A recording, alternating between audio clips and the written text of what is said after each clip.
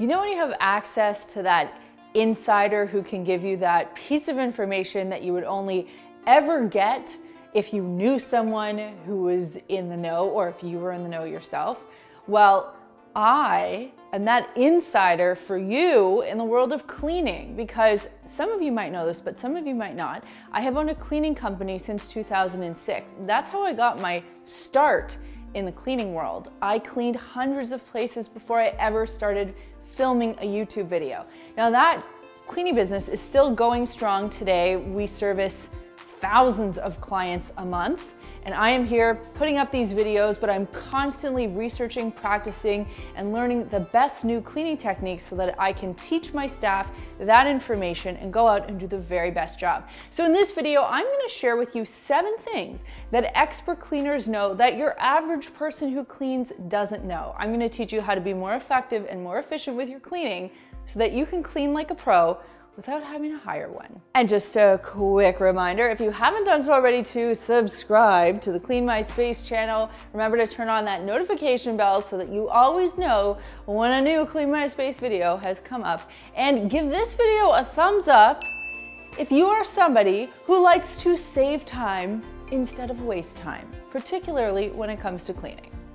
The majority of cleaning needs that any given home has can be handled with very basic cleaning products. Now, of course, when you go to the cleaning aisle, you might feel befuddled because there are so many different options and so many different products. But for all intents and purposes, you need the basics to get the majority of the work done in your home. Now, if you encounter a particular unique issue in your home, for example, a clogged drain or a particular stain that you really can't get rid of, mold or mildew, or something that needs a specialty product, by all means, hit the shelves, buy the specialty thing. But for your everyday general cleaning jobs, you can handle that with dish soap, water, baking soda, rubbing alcohol, hydrogen peroxide, vinegar, and those very simple pantry cleaning items. Now, we have tons of DIY recipes here on the Clean My Space YouTube channel and also over on cleanmyspace.com. What I'm trying to tell you here is save your money, keep it simple, and render down your cleaning needs to the most basic cleaning supplies. That way you can get the most done for the least amount of money. One of the easiest ways to waste time when you're cleaning is to run around looking for different cleaning products and tools. Instead, in the professional cleaning world, what we do is we collect everything ahead of time, prepare all of our products and tools. So we sort of go in, assess the room ahead of doing any cleaning. We think about, okay, it's like an anticipatory thing. What am I gonna need? Products, tools, techniques, PTT, you've probably heard me talk about that before. Step two is then to go and collect all of those products and tools that you're going to need and then bring it back to the space and start your cleaning then and there. I have seen people waste so much time running around looking for that bottle of glass cleaner, looking for that forgotten microfiber cloth. Instead, have everything with you in your space, keep it close, do your work, and then move on. Once I started Clean My Space, my service company, and I actually learned about professional cleaning, I learned something really simple. Professional cleaners have a plan of action. They know when they go into a room exactly what they need to do. So I created my very own. We call it the three wave system. I teach my staff the three wave system. That is how I clean my house. That is uh, what I wrote about in my book, and I talk about it here on the Clean My Space channel a lot. We just made a video on it. I will link that for you down below. And the reason I'm such a believer in this three wave process is because it works. It tells you exactly what to do each and every time you get into a room. You go around the room three times in a clockwise motion. You work from top to bottom. You tackle very specific things during each wave so that you know by the time that third wave has hit and you are walking out the door, everything is done. It is the most efficient way to clean a space I don't want to waste time as a professional cleaning business owner because I need my staff out there cleaning and earning money. And if they're wasting their time, time is money. Sometimes when we think about cleaning a room, we think about it holistically and it feels overwhelming because there can be so many things to accomplish in a room. Cleaning doesn't have to be that complicated.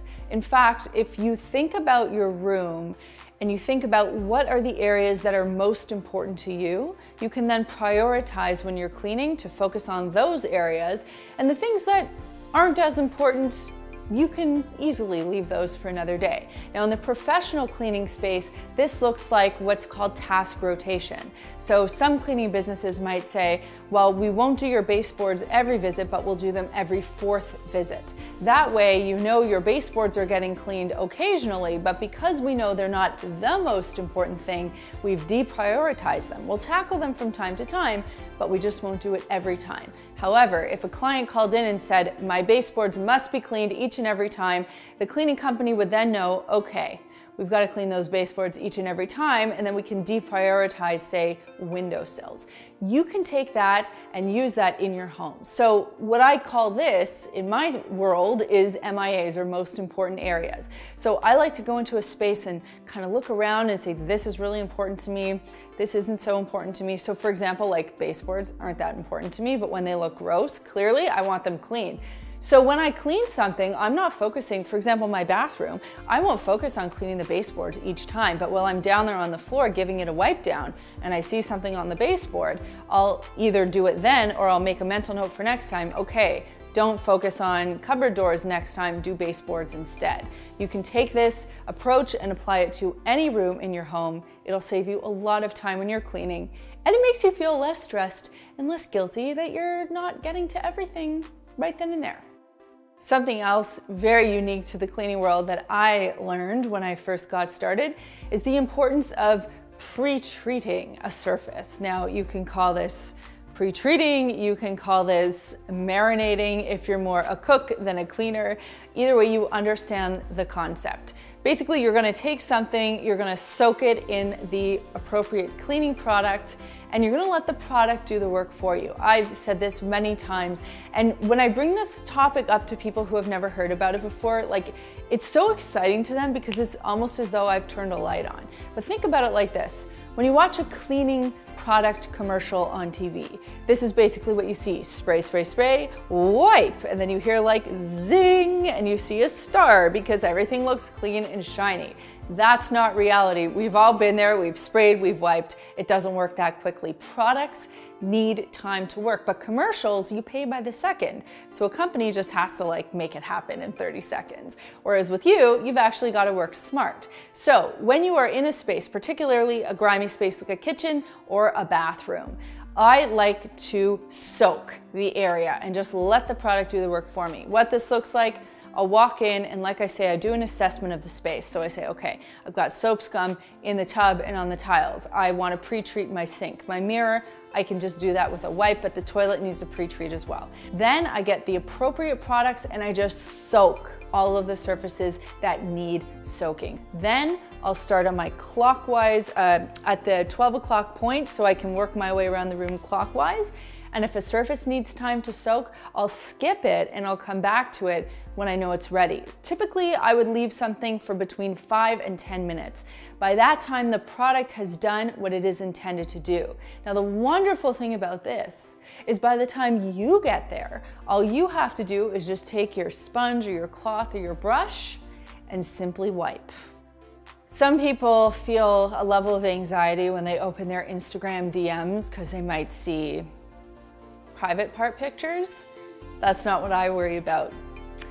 What I get in my Instagram DMs are ruined countertops, very dirty toilets, scratched stainless steel. I see everybody's cleaning mistakes in my Instagram DMs, and I actually find that um, funny in the world of Instagram, but not funny for the person who it happened to, of course. My first response whenever I see something like that is always, did you use the right product or tool or technique? Because Using the wrong product, tool, or technique can ruin a surface and sometimes permanently, and sometimes it can be really expensive to fix. So when it comes to cleaning, it is very important, and this is something we train our staff on and something I try to espouse to you. Please play it safe. Not only make sure that you are reading the product label so that you understand what it can and cannot be used on, but you're using the appropriate tool for the surface so you're not scratching or damaging that particular surface and making sure that you're taking good care of yourself. So you're wearing eye protection or gloves or you're properly ventilating a space.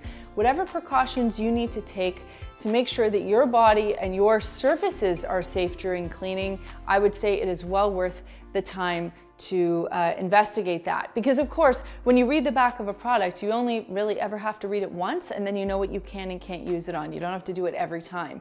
But investing that little bit of extra time can prevent some problems for you down the line. Sometimes I still find it absolutely laughable that I am what would be called a cleaning pro because you guys don't even know who I was before 2006 when I started Clean My Space. Biggest slob you have ever seen, someone who hated cleaning and cried about it like it was legit a real life problem for me. And here I am talking about cleaning with all of you. But I'm so glad that I can do that and help you because I know so many of you struggle the way that I used to, and frankly, the way that I sometimes still do. So that brings me to this week's comment question. And it is not about cleaning your home per se, but it is about staying at hotels. You see, we've been thinking about doing a video about hotels and the cleanliness there and kind of what goes into cleaning a hotel room because I think it's something we're all a little bit curious about. And when you think that the people who are cleaning hotel rooms are Cleaning pros, I've seen those hotel room housekeepers. They are hard workers and they've got a lot of work to do. But I would love to know in the comments down below, what are your questions about hotel cleaning procedures or practices? Or what's a disaster story or a really gross story about a stay that you had once in a hotel? I remember there was a hotel that we stayed at one time with um, a friend of ours, Chad and I were in one room, they were in another room. And like, we don't want to be complainers or anything, but we got into the hotel room and there was um, a very dark, long, short, curly, you know what, right on the beautiful, white, crisp bed. And then just to add insult to injury, I went to the bathroom and saw the very same hair on the toilet seat you know, I have a tolerance, but I had to just pick up the phone and ask for a new room, and I don't think that's too dramatic. So tell me your story and tell me how you would have reacted to that in the comments down below. If you want to see what we're up to during the rest of the week, you can follow along on Instagram. I'm at Melissa Maker Chad is at the Chad Reynolds, and the two of us are at Clean My Space. If you like the Clean My Space channel and you want to support what we're doing, it is so easy you just have to watch another video right after this one. YouTube loves that. And here are a couple that I think you might like. If you want to learn more about Maker's Clean microfiber cloths, you can click this button right over here. There is a button down there that lets me know you care. So click it if you liked this video and click this button right here to subscribe and begin your journey to a cleaner life. Thanks so much for watching and we'll see you next time.